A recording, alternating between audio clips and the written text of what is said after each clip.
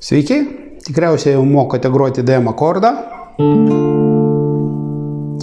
Ir dažniausiai mes įgrojame trečiam skirsnį naudodami trečią pirštą.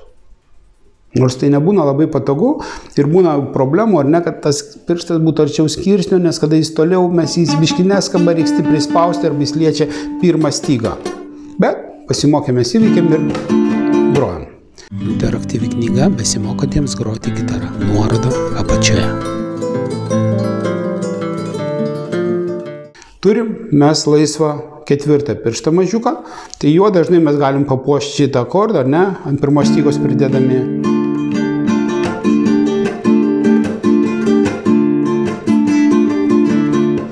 Bet D akorde, kaip jūs žinote, sako, negalima užgauti šeštos stygos. Ir tai yra tiesa, nes nata minė įeina į D ar DM akordą ir mums šiek tiek trūksta bosų.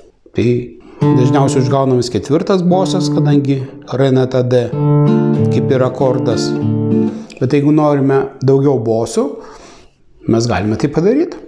Nori išmokti groti gitarą? Beno gitaros kursai suaugusiems. Registruoti savo mieste. Ką padarom tada? Vietoj trečio piršto statom ketvirtą, atlaisvinam trečią pirštą ir aš juo galėsiu pasiekti dar bosus, ar ne? Trečiam skirsnį tiek ketvirtą stygą, tiek penktą.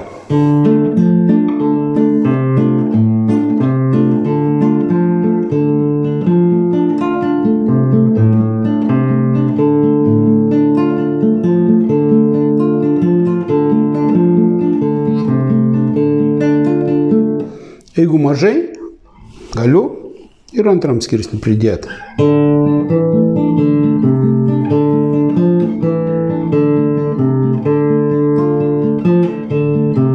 Tai yra ne tik bosinė partija, bet ir geras pratimas kairiai rankai, kurį mes galim pritaikyti praktiškai, grodami įvairius kūrinėlius ar akomponuodami dainom, kur yra DM akordas, papuošdami jų bosio linijom.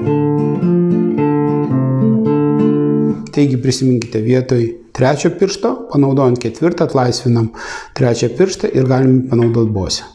Nori groti gitarą, atsisiųsk programėlę gitarija. Nuoroda apačioje. Kartais kitiems pirštai būna patogiau pakeisti vietoj antro statyti trečią ir groti su antru. Aš trečiam skirsnį nelabai pasiekiu, todėl nelabai man patogu, bet pas jūs galbūt ilgesni pirštai ir gali būti patogiau. Esmė, kad turint DM akordą, žaidžiam trečiam antram skirsnį. Ant ketvirtos stygos, trečiam ant penktos dar. Vien, du. Taigi paįvairinkite savo grojimą, DM akordą, pridedami bosinę liniją. Eksperimentuokite, pažaiskite. Knyga besimokantiems groti gitarą.